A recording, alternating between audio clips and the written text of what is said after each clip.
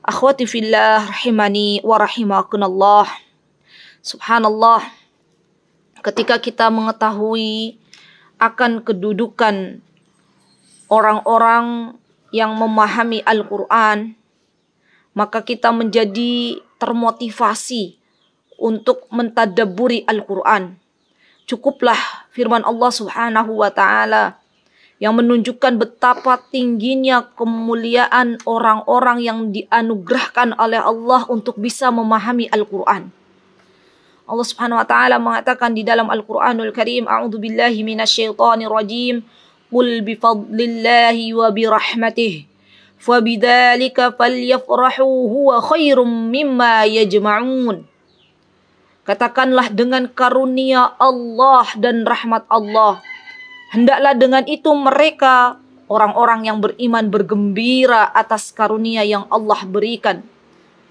Yang mana dalam ayat ini Allah Subhanahu wa taala mengatakan bahwasanya yang dimaksud dengan bergembira dengan rahmat Allah Syekh Sa'di rahimahullah menafsirkan bahwasanya orang-orang yang beriman yang Allah berikan kesempatan untuk bisa memahami Al-Qur'an untuk mendapatkan petunjuk dari Al-Qur'anul Karim. Kemudian ia dimudahkan oleh Allah Subhanahu wa taala untuk mengamalkan Al-Qur'an itu sendiri. Maka cukuplah orang-orang yang demikian menjadi orang-orang yang bergembira baik di dunia maupun di akhirat. Bahkan Imam Asy-Syafi'i rahimahullah pernah mengatakan barang siapa yang mempelajari Al-Qur'an maka akan tinggi kedudukannya. Imam Ibnul Qayyim pun mengatakan bahwasanya mempelajari dan mengajarkan Al-Qur'an termasuk di dalamnya mengajarkan kandungan maknanya adalah orang-orang yang seharusnya dia berbahagia. Masya Allah. Maka hari ini kita akan belajar sedikit demi sedikit pentingnya mentadaburi Al-Quran. Karena sejatinya kita semuanya mencari kebahagiaan dan tidak ada kebahagiaan yang bisa kita dapatkan kecuali kita harus mentadaburi Al-Quran. Semua orang di luar sana mencari kebahagiaan yang hakiki dan mereka belum menemukannya. Dan kunci di antara kebahagiaan yang ada yang Allah Subhanahu wa taala sediakan adalah dengan mempelajari serta mengamalkan Al-Qur'an itu sendiri. Teman-teman yang dimuliakan oleh Allah Subhanahu wa taala, kalau kita lihat arti kata kalau dalam bahasa Arab ya, tadabbur itu kalau kita lihat tadabbur itu artinya adalah memperhatikan dari satu perkara dan memperhatikan akibatnya ya. Itu arti kata tadabbur. Dan biasanya kata tadabbur Al-Qur'an itu digunakan untuk merenungkan sesuatu. Karena Al-Quran yang kita baca teman-teman, Al-Quran yang kita pelajari itu memiliki hak dan ini menjadi kewajiban bagi kita semuanya. Di antara haknya Al-Quran, Al-Quran itu dibaca.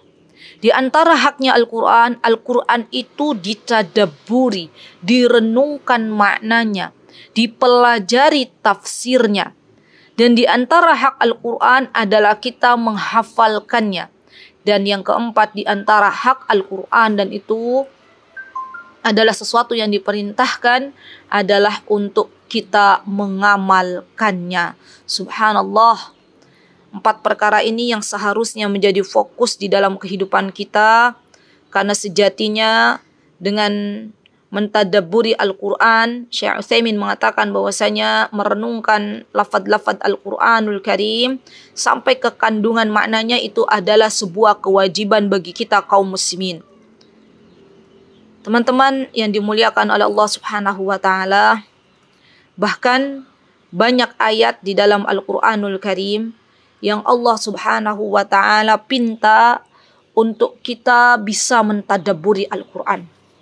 Di antaranya Allah Subhanahu wa taala mengatakan di dalam Al-Qur'an, "Afala yatadabbaruna al-Qur'an?" Apakah mereka tidak merenungkan Al-Qur'an? Apakah mereka tidak mentadaburi Al-Qur'an? Kemudian Allah Subhanahu wa taala meneruskan, "Walau kana min 'indi ghairillah lawajadu fihi ikhtilafan katsira." Kata Allah Subhanahu wa taala, kalau kiranya Al-Qur'an itu bukan dari sisi Allah, maka tentulah akan kita dapati pertentangan yang banyak di dalamnya. Dan kita tahu Al-Qur'an adalah dari sisi Allah Subhanahu wa taala dan di dalam Al-Qur'an tidak ada pertentangan yang terjadi karena Al-Qur'an diturunkan oleh Allah Subhanahu wa taala. Kemudian di dalam ayat yang lain Allah mengatakan Kitabun anzalnahu ilaika mubarak. Subhanallah. Al-Quran ini teman-teman. Allah turunkan dengan membawa keberkahan.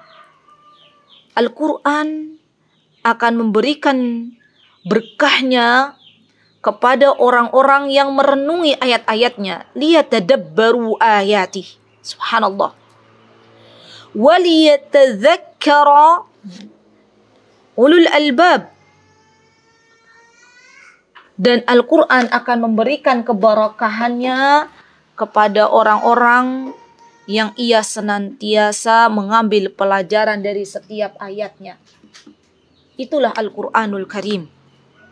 Maka subhanallah, orang-orang yang dia bisa mentadaburi Al-Quran, itu Allah sebutkan tanda-tandanya di dalam Al-Quranul Karim. Sudahkah kita termasuk orang-orang yang mentadaburi Al-Quran? Karena Allah Subhanahu wa taala menyebutkan orang-orang yang dia menjadikan Al-Quran untuk ditadaburi, maka ketika diturunkan suatu surat, ketika dibacakan suatu surat, ia akan bertambah imannya. Dulu Al-Quranul Karim ketika diturunkan oleh Allah Subhanahu wa taala maka ada di antara orang-orang munafik mengatakan, "Siapakah di antara kamu yang bertambah imannya dengan turunnya surat ini?" Adapun orang-orang beriman, mereka mengatakan, "Sungguh, surat yang Allah turunkan ini bisa menambah keimanan kita." Dan orang-orang beriman merasa gembira. Subhanallah.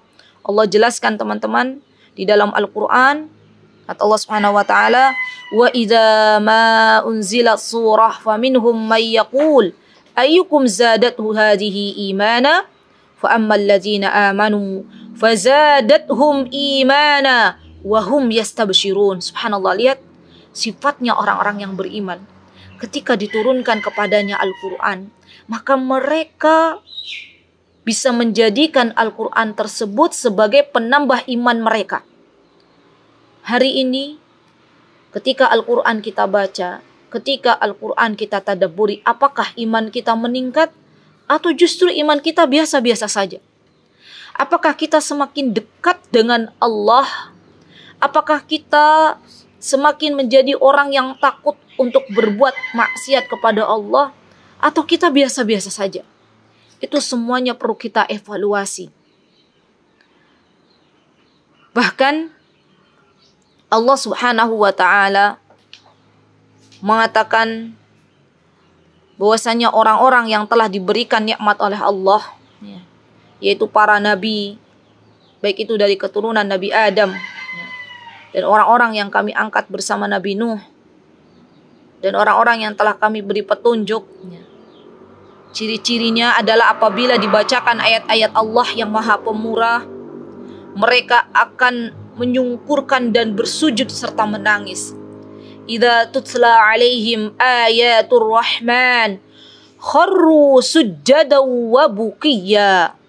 Subhanallah lihat teman-teman orang-orang yang ia telah menjadikan Al-Qur'an dengan penuh tadabbur ya dengan mentadabburinya maka apabila dibacakan ayat-ayat Al-Qur'an maka ia sujud kepada Allah Subhanahu wa taala karena ia paham bahwasanya mentadabburi Al-Quran itu adalah sebuah keniscayaan.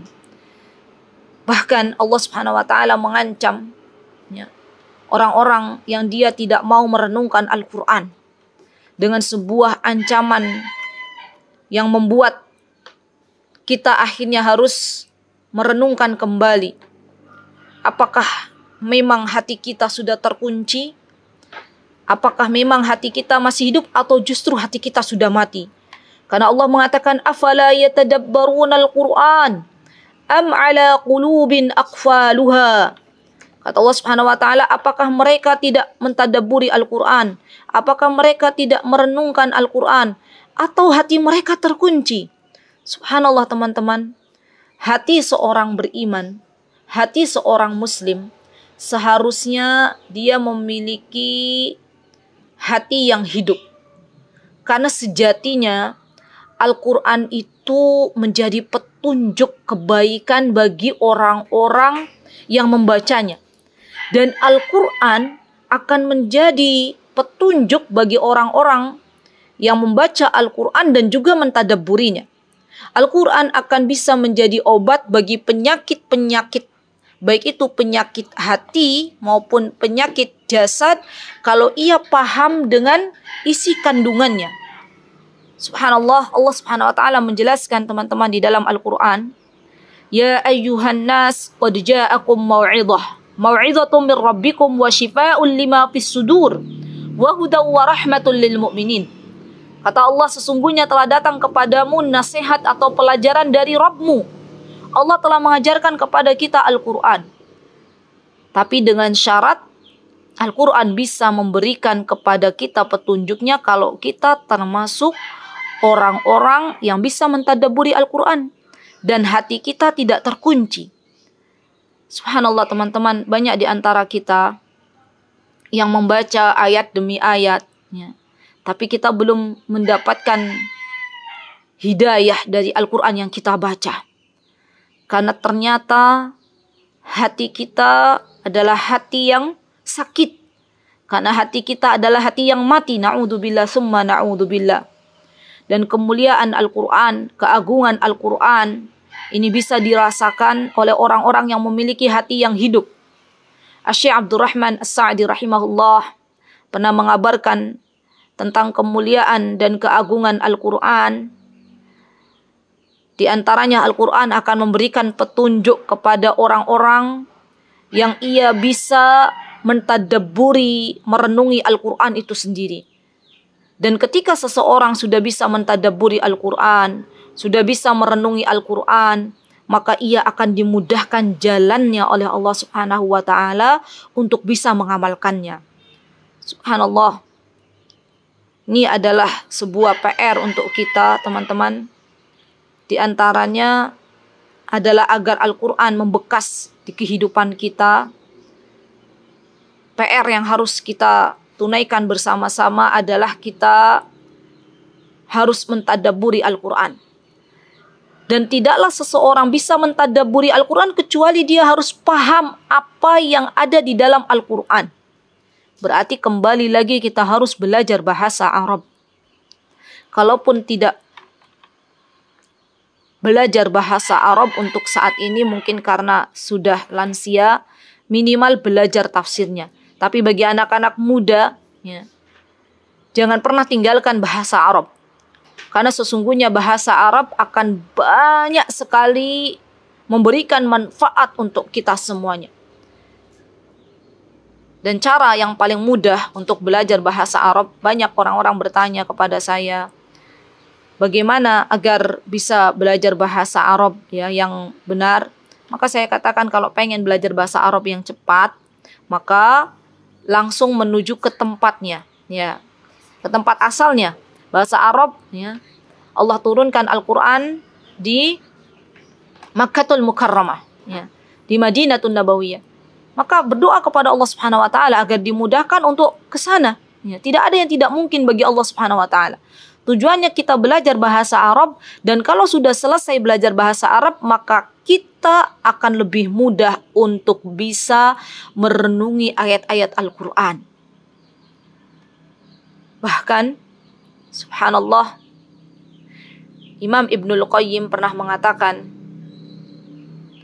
untuk bisa mendapatkan petunjuk dari Al-Quran, maka di antara jalannya adalah pusatkanlah hati kita untuk bisa menyimak Al-Quran, baik kita fokuskan pendengaran kita, baik kita fokuskan hati kita, hadirkan hati dan pendengaran kita untuk benar-benar kita bersama Al-Quran. Ya.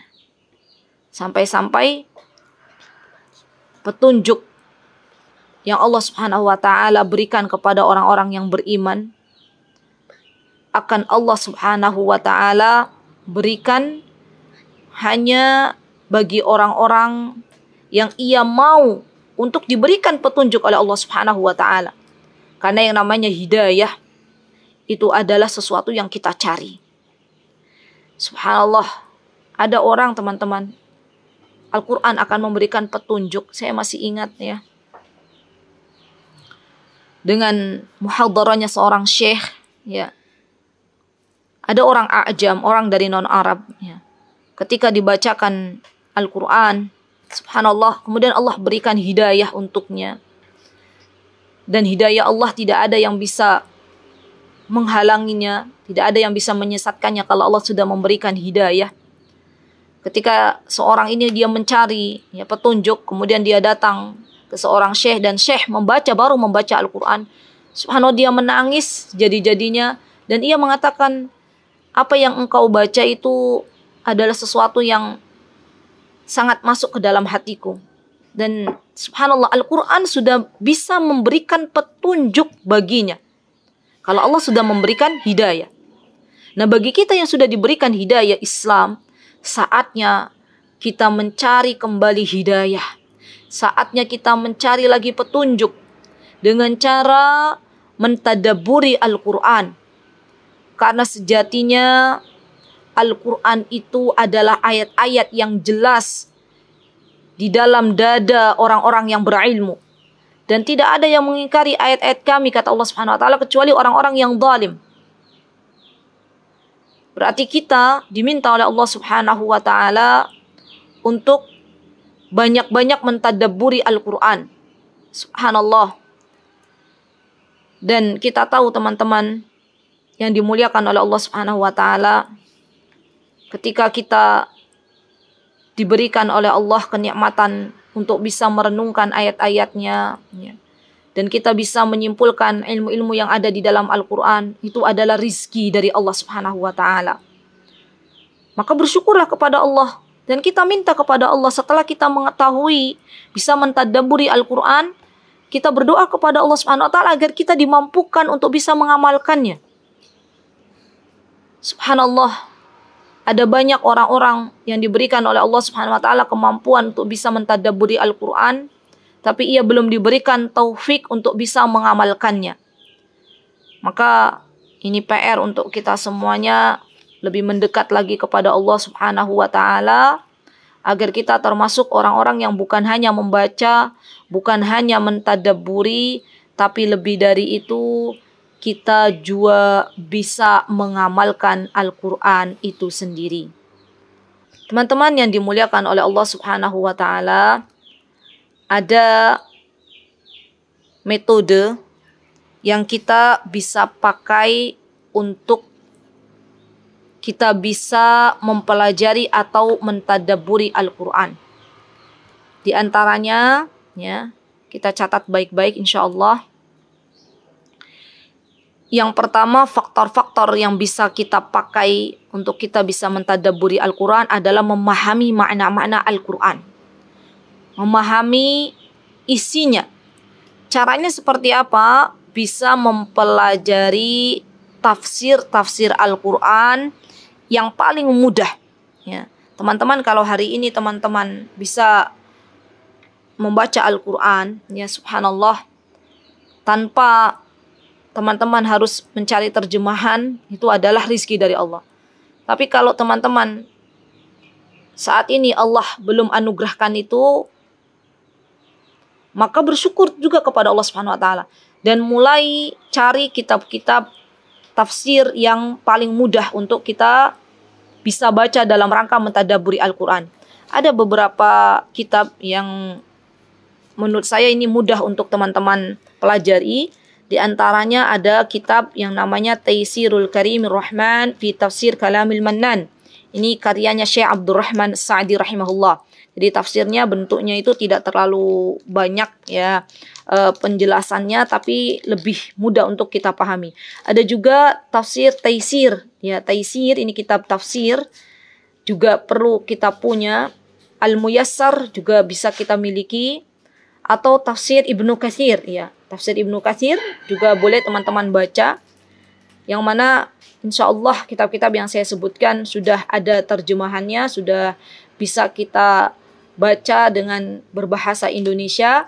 Tujuannya adalah agar kita bisa mentadaburi Al-Quran, memahami maknanya, dan Allah akan berikan pertolongan kepada kita semuanya untuk bisa mengamalkannya setelah kita memahami Al-Quran.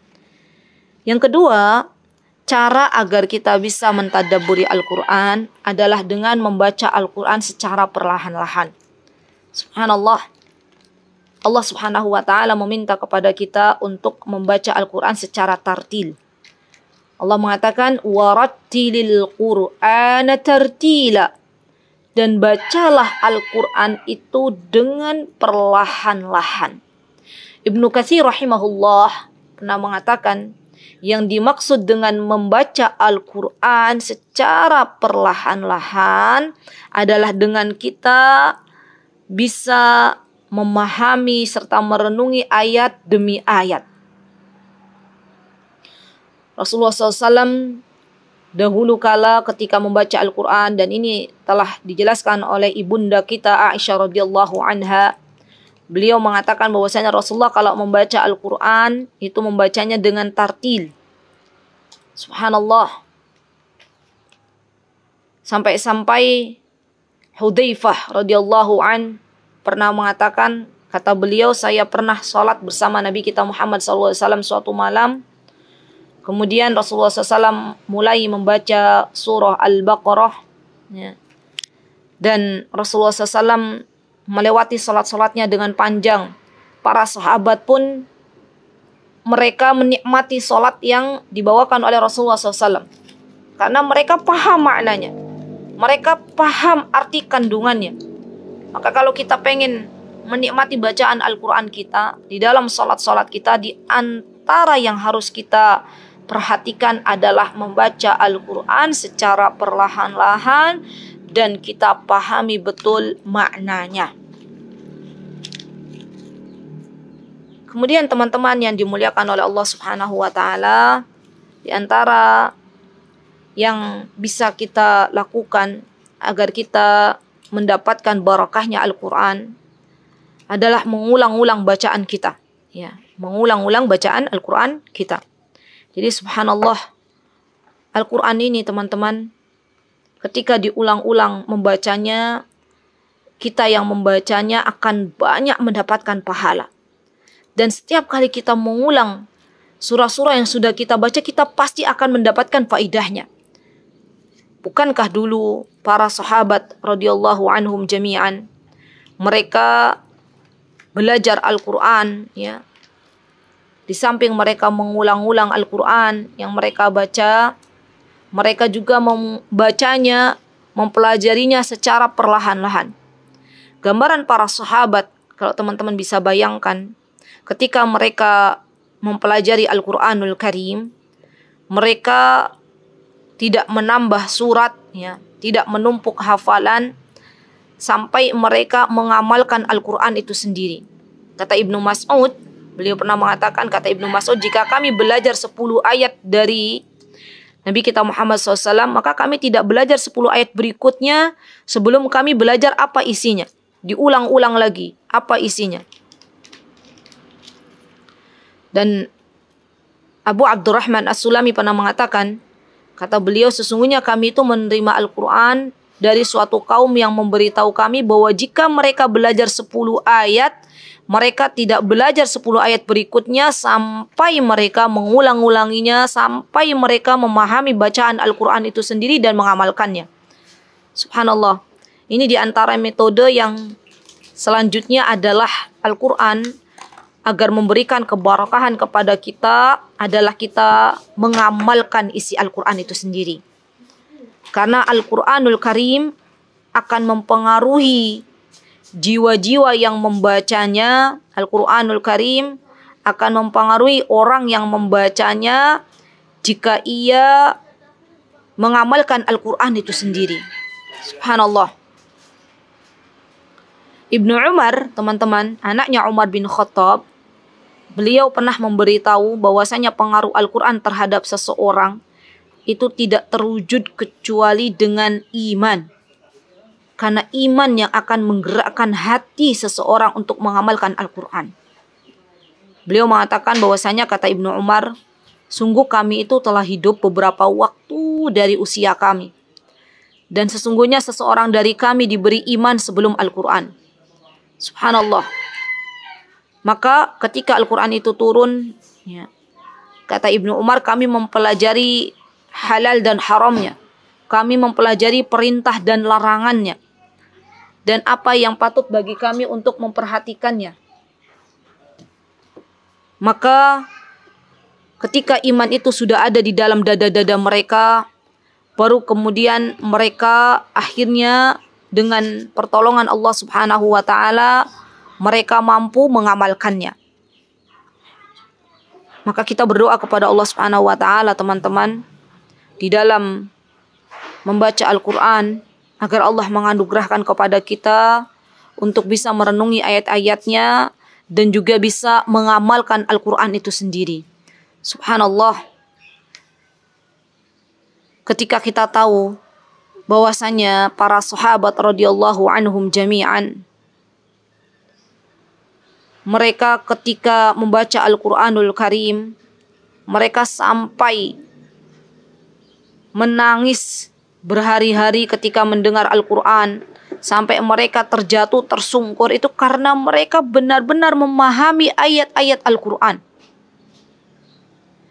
Abdullah bin Shaddad pernah mengatakan teman-teman, kata beliau aku mendengar suara tangisan Umar bin Khattab. Padahal aku berada di soft paling akhir ketika salat. Manakala membaca surah Yusuf, ya, satu surah saja, satu ayat saja, yang dibaca adalah innama ashku bathi wa huzni ilallah. Sesungguhnya hanya kepada Allah aku mengadukan kesusahan dan kesedihanku. Baca satu ayat saja, Umar bin Khattab menangis jadi-jadinya. Subhanallah. Karena Al-Quran telah masuk ke dalam jiwanya, di dalam hatinya dan Al-Quranul Karim menjadi cahaya di dalam hatinya.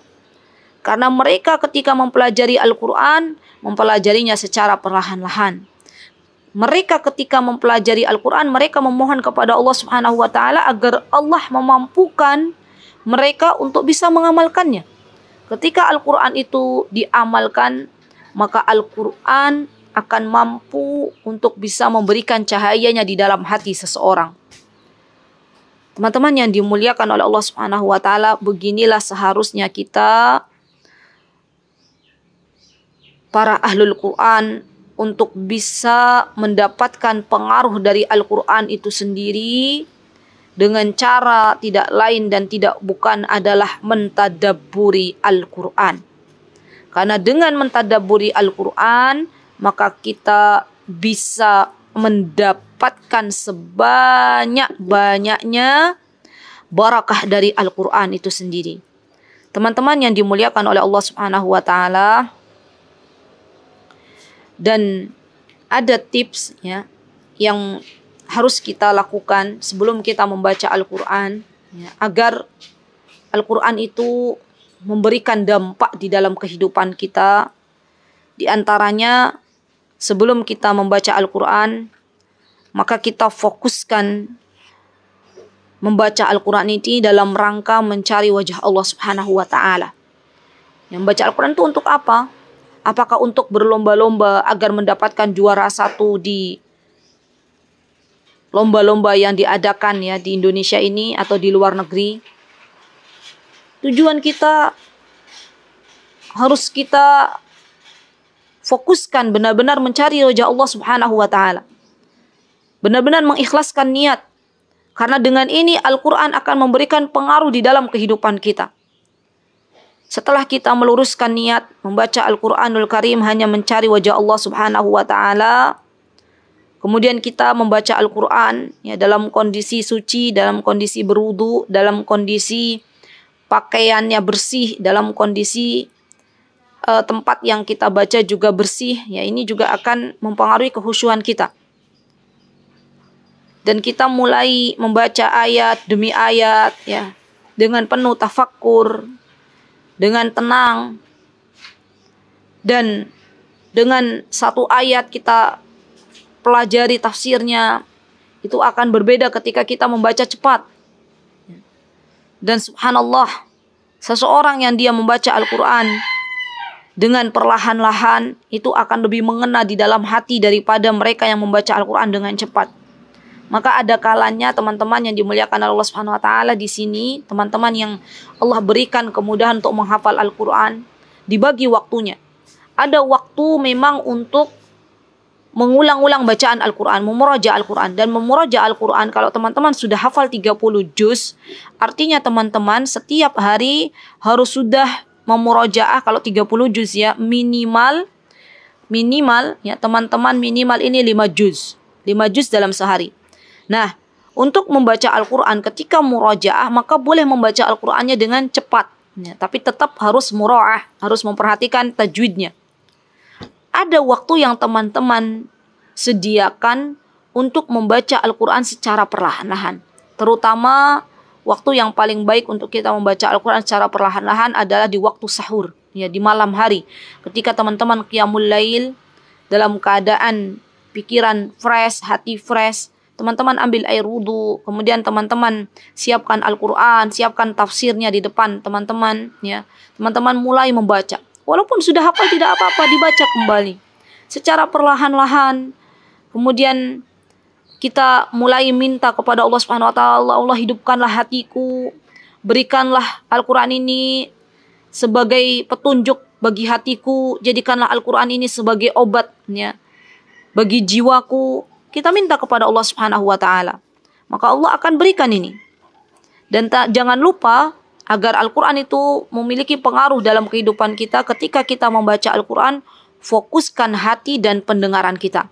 Karena banyak nih orang-orang yang membaca Al-Quran, hatinya entah ke mana. Ya kan? Maka perlu kita minta juga kepada Allah, Ya Allah saya pengen baca Al-Quran. Jangan sibukkan diriku dengan dunia. Kalau baca Al-Quran, kalau bisa teman-teman, HP di silent dulu. Ya, HP di silent dulu. Karena sekarang itu gangguan terbesar kita adalah HP. Ya. Barang sejam dua jam kita masih bisa hidup tanpa HP. Ya.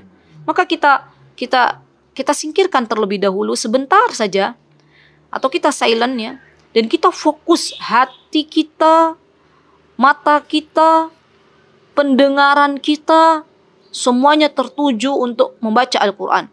Karena Allah Subhanahu wa taala mengatakan inna fi dzalika ladzikra liman kana lahu qalbun au alqas sam'a wa huwa syahid. Kata Allah sesungguhnya pada yang demikian itu benar-benar terdapat peringatan. Subhanallah Al-Quran akan memberikan peringatan bagi orang-orang yang mempunyai hati dan menggunakan pendengarannya serta menjadikan ketika membaca Al-Quran dengan hadirnya hati. Subhanallah.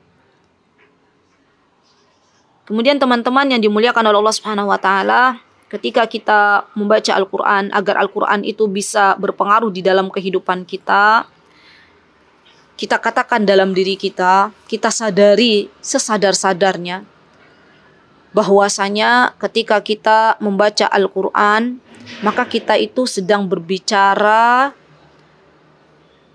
dengan Allah Subhanahu wa taala. Kita sedang membaca surat dari Allah Subhanahu wa taala. Ya maka ini akan menjadikan diri kita benar-benar merenungi bahwasanya apa yang kita baca ini bukan makhluk. Apa yang kita baca ini bukan buatan manusia. Tapi apa yang kita baca ini adalah dari Allah Azza wa Jal yang menciptakan diri kita.